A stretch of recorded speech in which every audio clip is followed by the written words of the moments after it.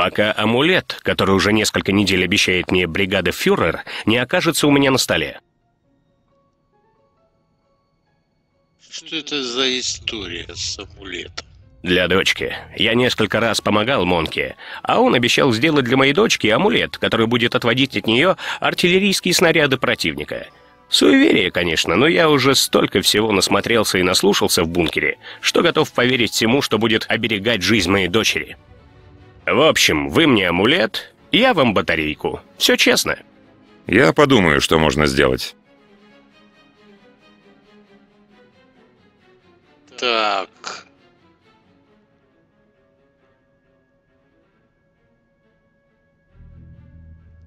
Медальон отдадим. О, какой! Эх, надеюсь, что он защитит мою Гретту. Держите свою батарейку. Последняя рабочая. Так, все-таки отдай письмо.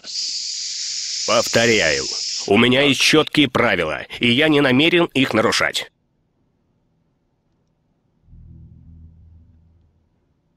Спасибо. Да-да. Ну смотри. Нарвался на советского разведчика. Пожалуйста, ничего не трогайте у меня на столе.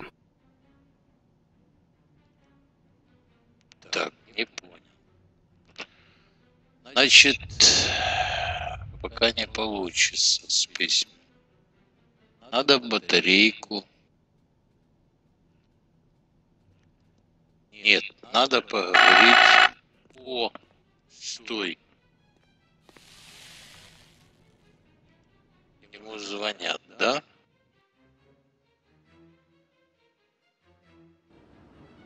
Да...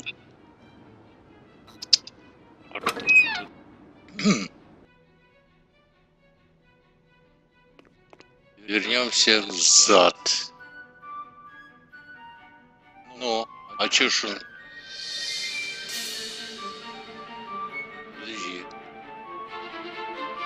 Пожалуйста, ничего не трогайте у меня на столе. Ну, звонок же был только что. Уже все? Ладно.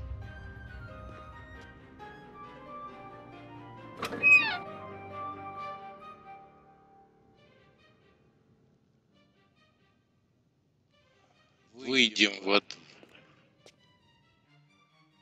Подышим свежим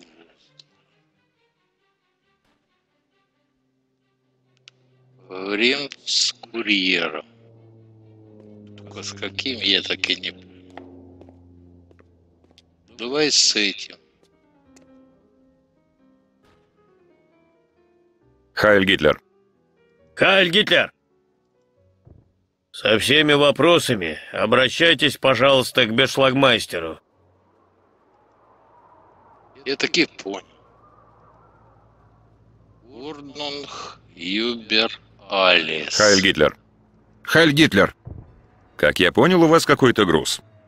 Да, нам необходимо разрешение, чтобы занести его внутрь. Кто может дать подобное распоряжение? Фюрер, министр Геббельс, рейхсфюрер Гиммлер. Странно, но в бункере не ждут никакого груза. У нас есть приказ, подписан фюрером. Это аргумент. Безусловно. А что за груз?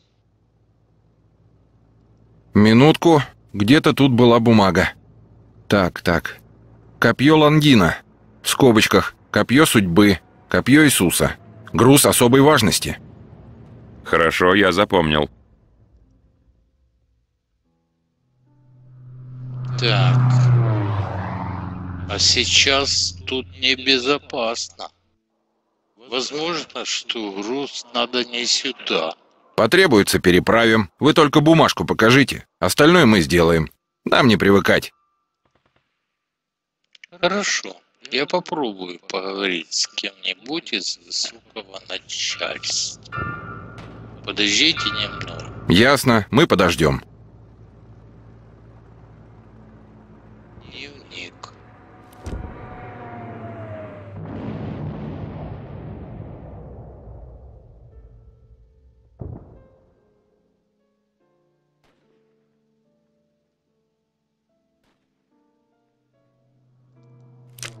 Понятно.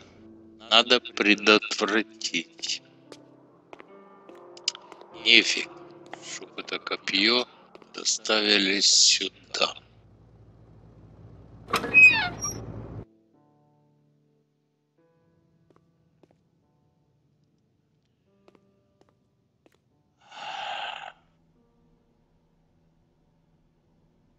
Так, охранник. У вас найдется для меня минута? Только минута. Говорите, что вам надо.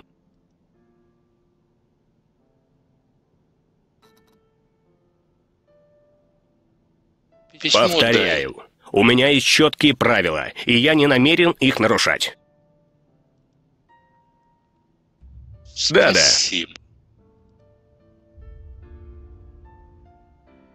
Так, на лестницу, в общую столовую. Ладно.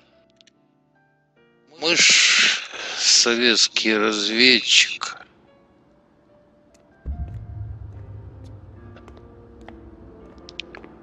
Мы пойдем другим путем.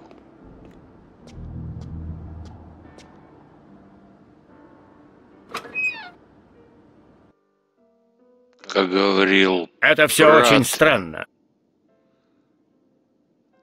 Так, Лин Якс, Что? Ебельс. Это я потом. Копье Лангина, проект Америка, смерть Крепса. Что еще случится сегодня? Я потом доложу. Что-то обязательно случится. Нам надо в туалет. Это все очень странно. Да. Что-то у нас странно все. Спросим. Юнши. Прошу прощения. Да-да, говорите быстрее. Помой вам чем? Да, оставьте меня. Оставьте. Ясно. Так.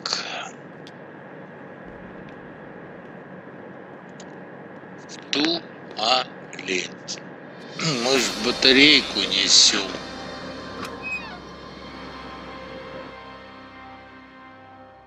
Офицер. Тут с этой игрой можно запутаться. Забываешь, зачем шел. Вот батарейку на для фонарика.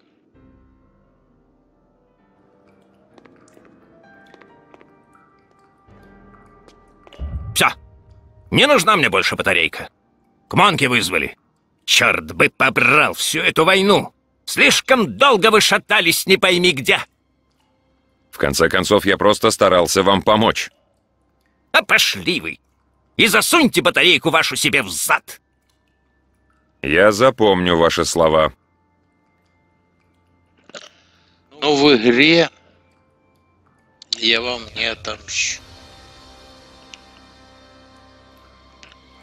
Хм. Хорошо, ему батарейка уже не нужна.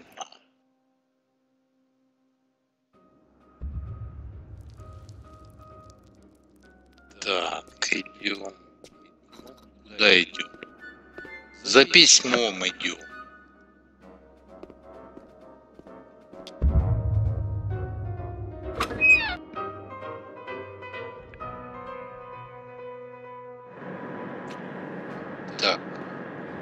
Роскошный массивный комод. Трудно представить, что его предком был обычный сундук. Прошу прощения. Да-да, говорите быстрее. Так принесите, в чем же дело? Офицер на входе не позволяет мне сделать это. Он говорит, что только вы... Черт, мне не нужны сейчас ваши мелкие проблемы. Я не буду ими заниматься. Скажите фрау Гитлер, что я принесу ей письмо позже, когда будет время.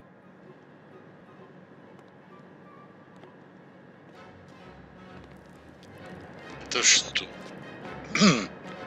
Другая ветвь игры. Да нет, я пойду по той же ветви.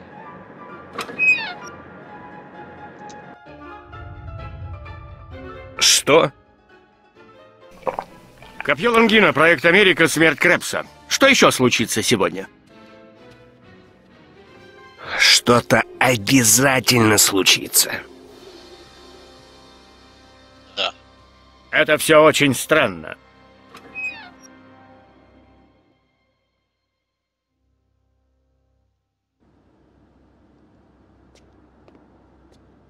Письмо забрать надо.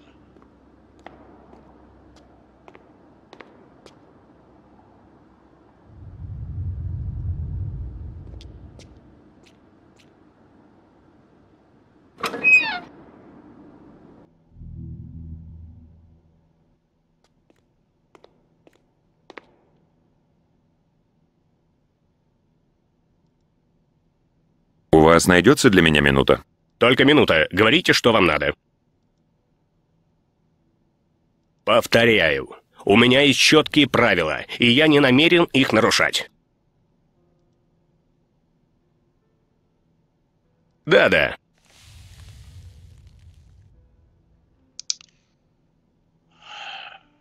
Звонок.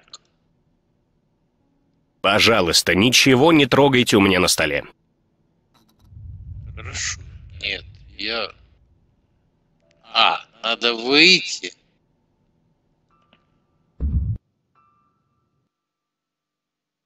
Выиграл. Блин, обратно.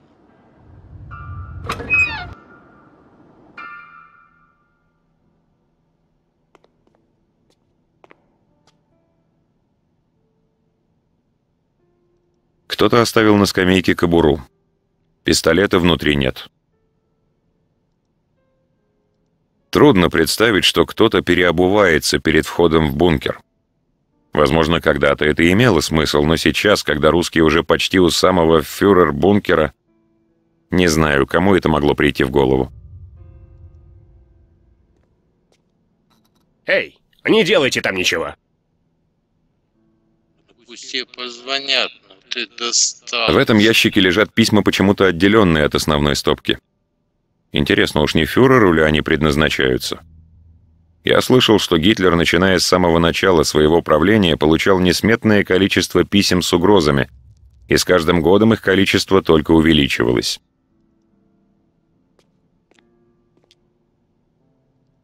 Открытка с портретом Гитлера на марке. В свое время британские спецслужбы выпустили серию марок с изображением рейхсфюрера Гиммлера и распространили по Третьему Рейху. О! Они рассчитывали таким образом создать впечатление, что Гиммлер якобы готовит политический переворот и даже печатает пропагандистские материалы. Наконец-то. В общем, никакого результата эта акция не принесла. Так, теперь мы Нет! можем скоммуниздить. Да, понял. Письмо.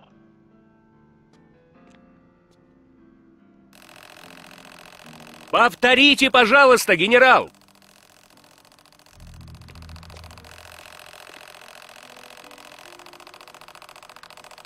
Вот так.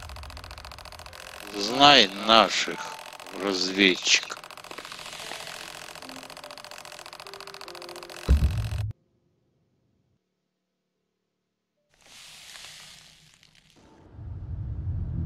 Ручку забрать.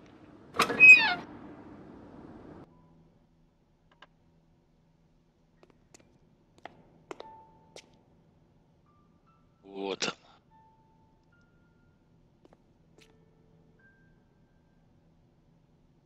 Ну и Покедова.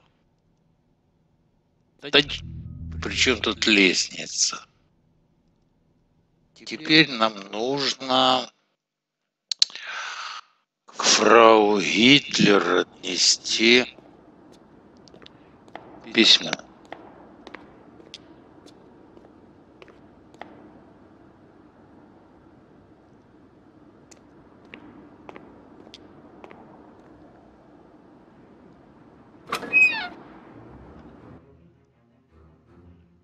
Что? Копье Лангина, проект Америка, смерть Крепса. Что еще случится сегодня?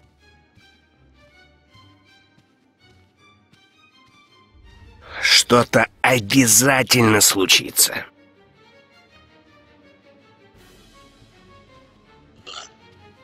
Это все очень странно.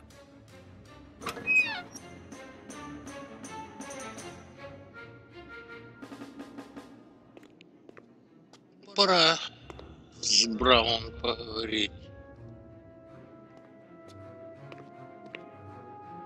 Фрау Гитлер, я принес вам письмо от фрау Остермайер. Наконец-то. Заходите.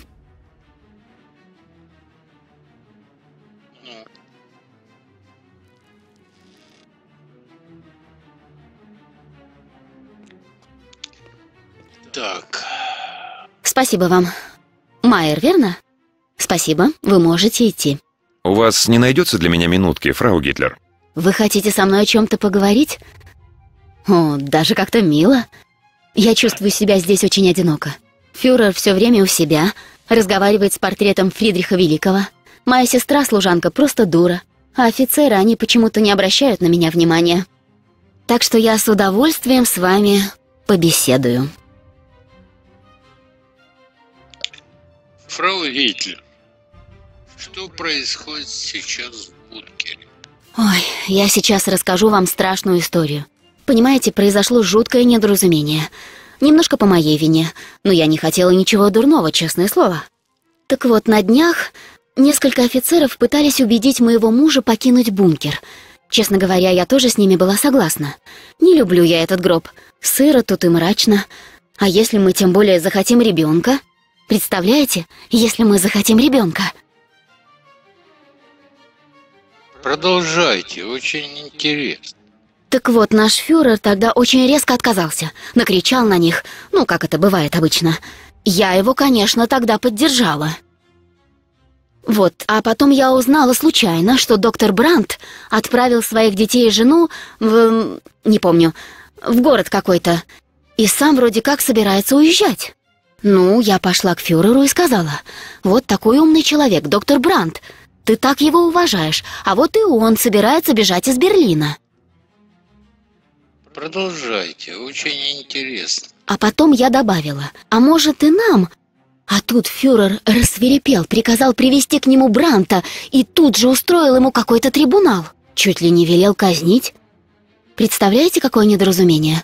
Я-то хотела совсем другого, бедный доктор Брант. Я вас понимаю. Спасибо, Майер. Смотримся. Ева Браун поглядывает на часы и широко зевает, прикрывая рот рукой. Кресло с наклонной спинкой. Так и представляется, как фюрер берет в руки чашку с блюдцем, откидывается назад и, сделав маленький глоток, начинает рассуждать о будущем Германии.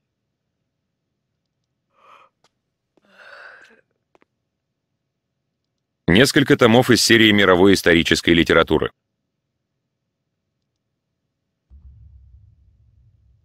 Этажерка с тремя полками и тумбочкой в основании. Стул с изогнутой спинкой, обитый дорогой материей. Высокая лампа с желтым абажуром. Из граммофона звучит легкая бойкая мелодия. То ли фрау Гитлер не понимает нависшей над Германией опасности, то ли показной веселостью музыки старается заглушить охватывающие ее чувства. На этом небольшом диване может разместиться чита Геббельсов вместе со всеми пятью детьми. Закат в порту. Характерная для вкуса Гитлера картина. Ницше. Воля к власти. Блюдце с крошками от печенья. Серебряный нож с ручкой, покрытой тонким узором. Чашка с остатками кофе. Чашка с остатками кофе.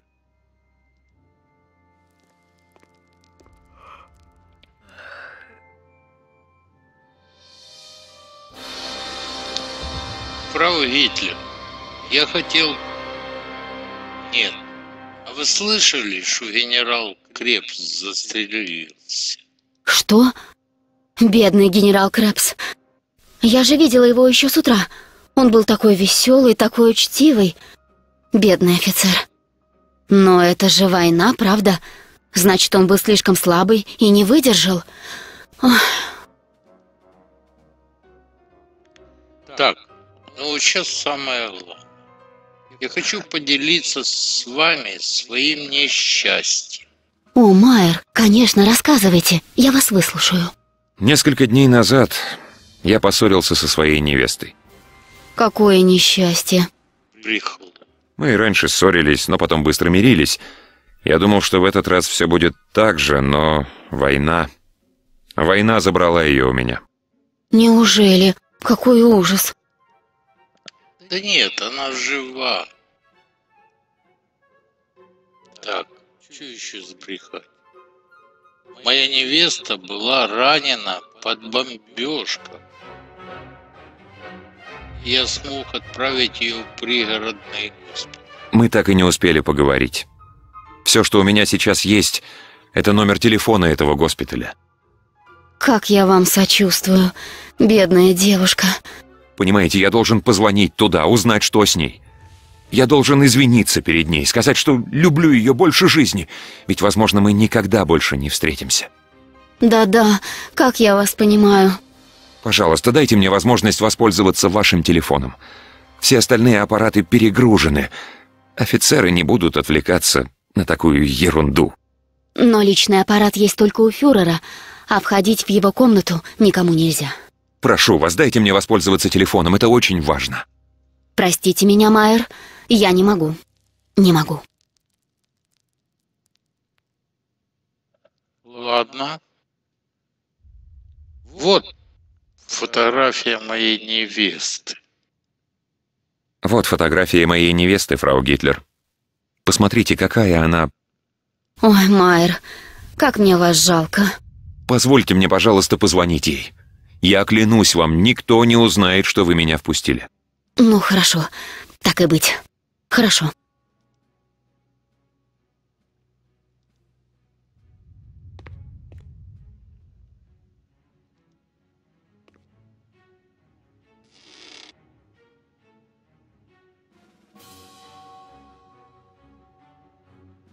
Портрет Фридриха Великого.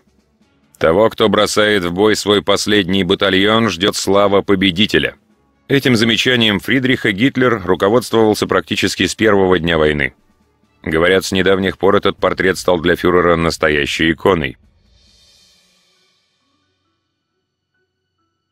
Письменный прибор с двумя пустыми чернильницами. Записи, сделанные почерком Гюнша, содержат краткую информацию о подлодке У-977, которая ожидает Гитлера в Атлантическом океане. Сообщается секретная частота для связи с лодкой и пароль, который должен послужить капитану Гейнцу Шаферу руководством к действию. Он звучит следующим образом. «Все идет, все возвращается, вечно вращается колесо бытия». «Внимание!» — гласит надпись на щите. Открыть его и разрезать провод, ведущий к пульту, не составит труда. Однако в этом случае выключатся и лампочки, сигнализирующие об исправности пульта. Это сразу привлечет к себе внимание. Такой вариант мне не подходит. Мирный закат в порту. Как разительно отличается изображение на полотне от того, что происходит сейчас в немецких портах. Сейчас стальными рядами стоят в них корабли британского и американского флотов. Высокая лампа с желтым абажуром. Стол с изогнутой спинкой, обитый дорогой материей. Сомнительного вида морепродукты, специально для вегетарианца Гитлера, извлеченные из закромов бункера. Фюрер не понаслышке знает, что такое настоящий голод. Он прошел это тяжелое испытание после того, как не поступил в Академию художеств. «Пять лет нищеты и скорби в Вене», — вспоминал он. «Пять лет, в течение которых я зарабатывал на жизнь сначала как подмастерье, а потом как неизвестный художник. Голод был моим постоянным спутником. Он не покидал меня ни на мгновение». Кофейная чашка со следами помады. Пустая стеклянная бутылка из-под воды.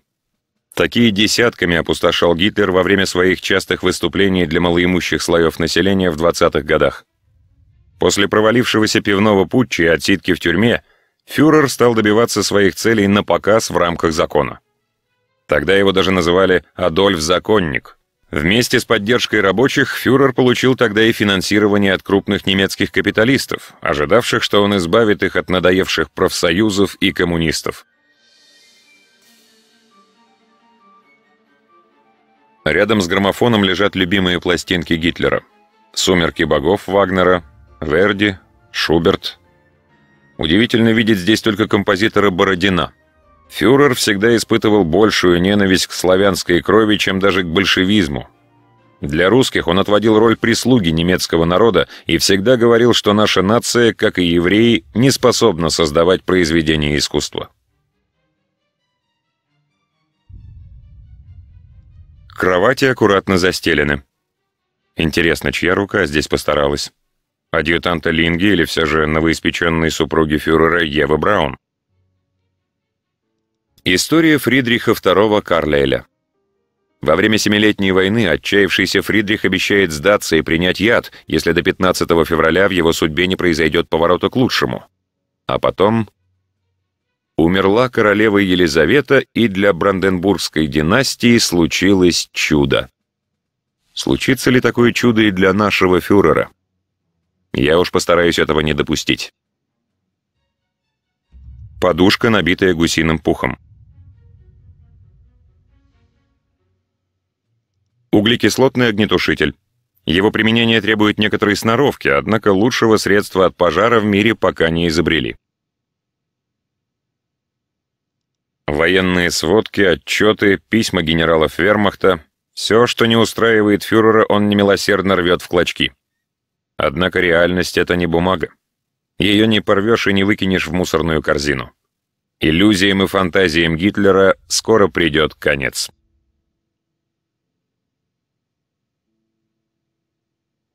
Канделябр с тремя оплавленными свечами. Личный телефон фюрера. Гитлер разговаривает по нему только с особо приближенными людьми.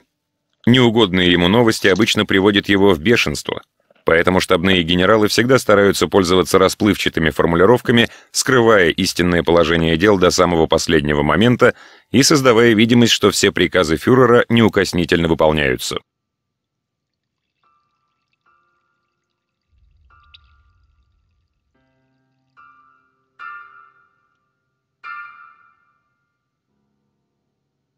Ну, наверное, пора.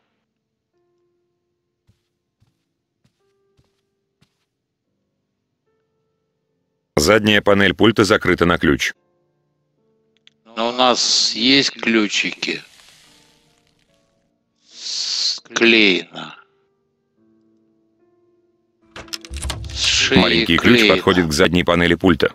Теперь я могу добраться до внутренности механизма. Давай.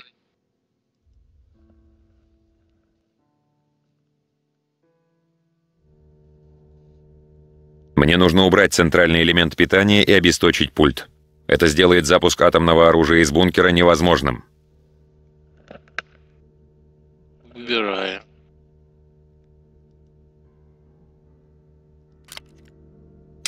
Я отключил пульт от питания. При этом погасли лампы-индикаторы. Чтобы не включилась сигнализация, мне нужно либо вернуть центральный элемент питания, либо придумать другой способ снова зажечь обе эти лампы. Конечно, я придумаю новый способ.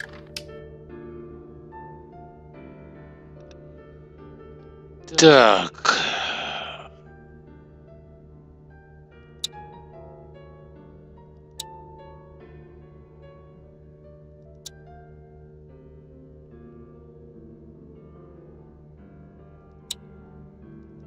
Сейчас будем искать новый путь. Так, так. Оп, одна зажглась.